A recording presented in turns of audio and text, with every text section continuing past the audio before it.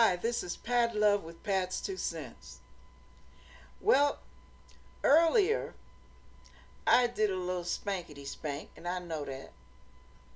But I want to share with you how understanding God is when He sees you really trying, but you're struggling and you're tripping over your own two feet.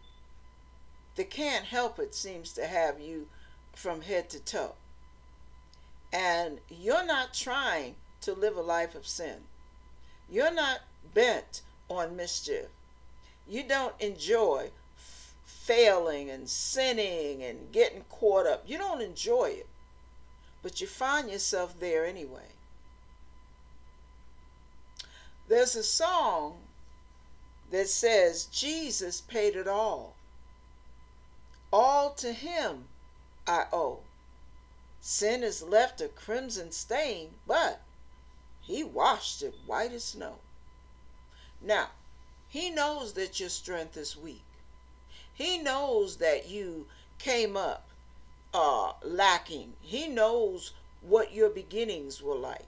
He knows who molested you, who, who raped you, who messed with you. He knows who messed over you, when it happened, how it happened, how deeply it cut, how deeply it hurt. He knows the amount of damage it done it did to you.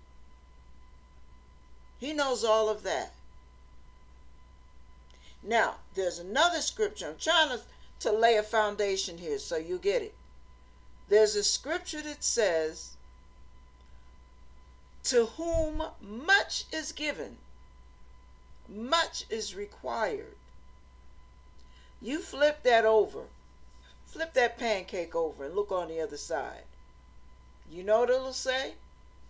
To whom little has been given, little is required. Not an excuse, it's a statement of understanding. God knows what has happened to you. First of all, God loves you. You are fearfully and wonderfully made. And if people messed over you, that's on them, not on God. But I tell you what is on God His ability to heal you and deliver. He can undo, undo all that damage. You're looking at a fruit of His help right here. So when you realize that, understand that healing goes through a certain process and God's never in a hurry.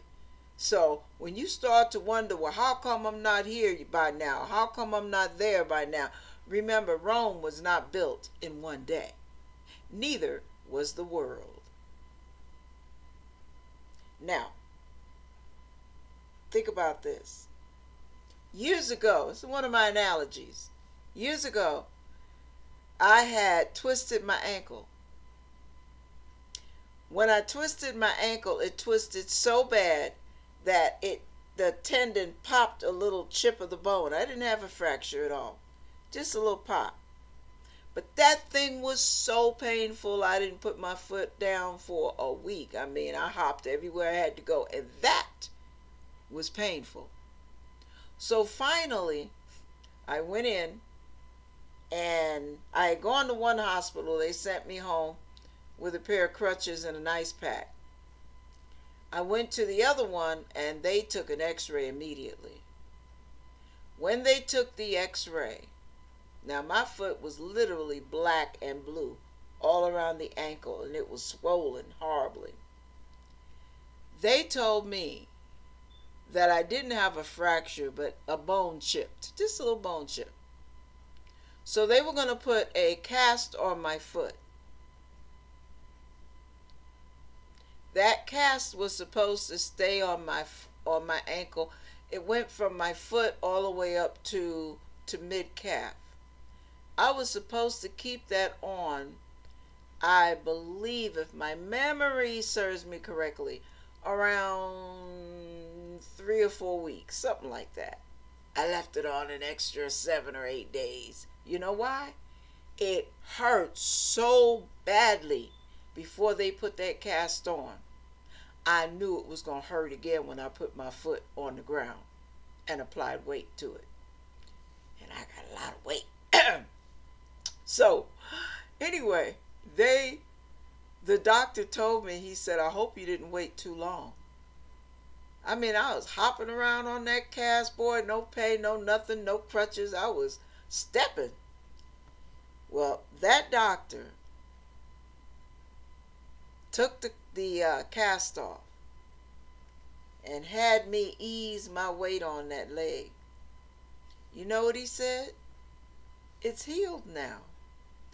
But you have to put your weight on it in order for your muscles not to atrophy.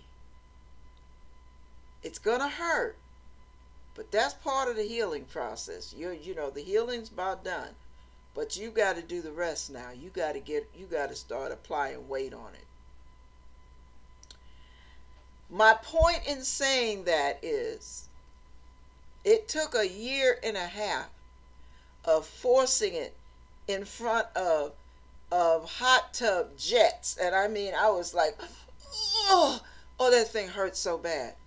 But I had to force that. And the heat I knew would force the blood to that area which makes it heal quick more quickly. The pain it was healed but the pain did not fully go away for a year and a half. That was the end of my limping after around a year and a half. I've never had any complications from it since. I don't care if it rains, I don't care if it sleets, snows, if it's sunny, whatever. I don't have problems with that ankle at all. It fully healed. But here's the issue the residual effects of the damage that was done went on for a year and a half. Remember that?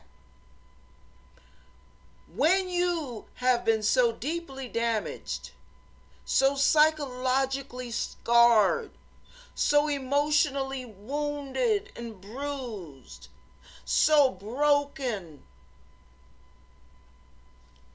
No matter what God is doing in you, the residual effects,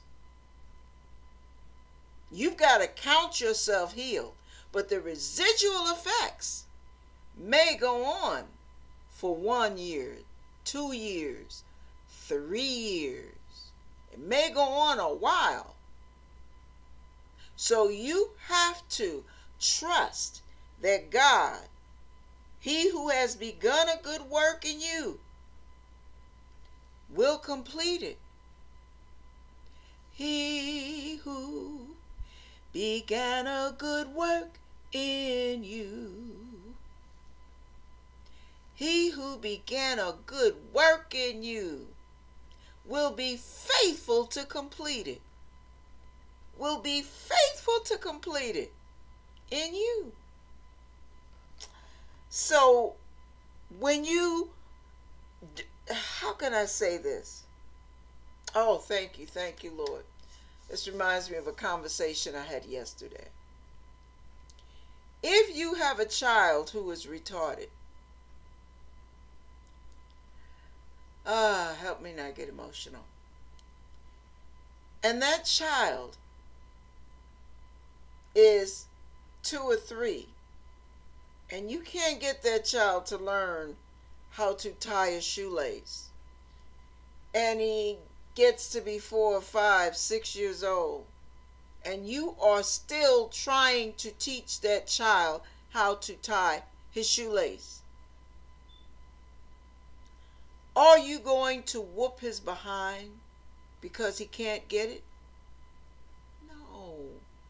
Because you know there is a short circuit up here that limits his ability to grasp and to apply. So, for somebody that only takes a week to learn something, it may take this child a decade.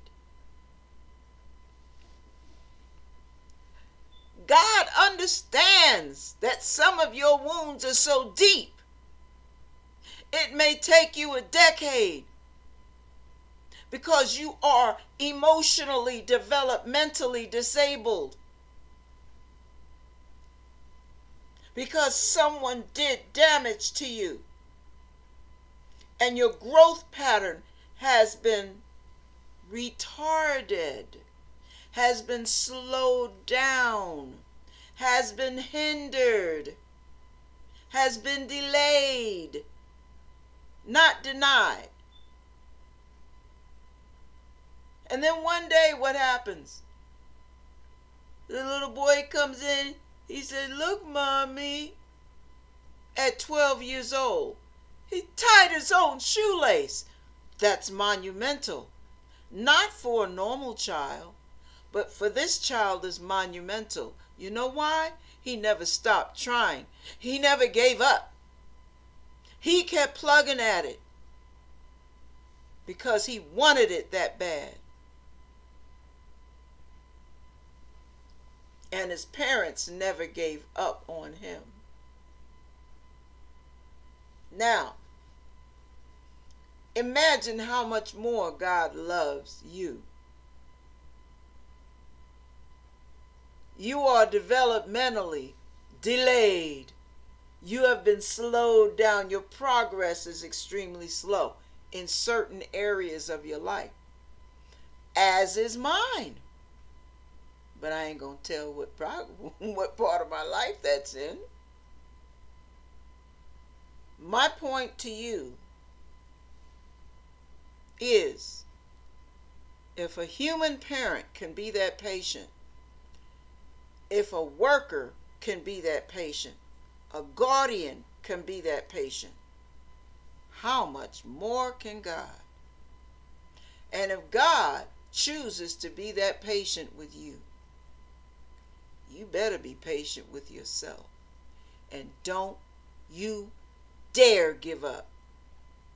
Don't you dare throw in the towel because you blew it again. You didn't blow it celebrating, like, oh, well, hey. No, you blew it and you're frustrated with yourself. That frustration is your indication that you have the seed of righteousness in your bosom. Because if you did not have that, you wouldn't give a rat's you know what. You do what you wanted to do when you wanted to do it. And you wouldn't give it a second thought and dare somebody to say something about it.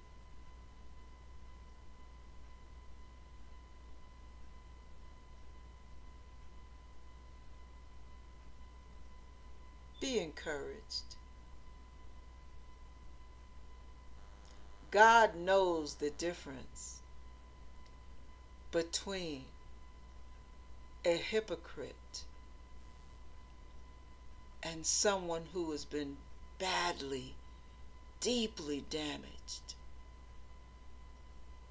He knows the difference. And if all you have left is a little cinder, a little glow at the end of a twig, that's been burned badly. God's not going to put that little light out. He's not going to put your light out. Because he's not abusive to damaged people. He doesn't beat someone who's been beaten and bruised all their lives. if you would just believe that God is pulling for you, you will never give up on yourself.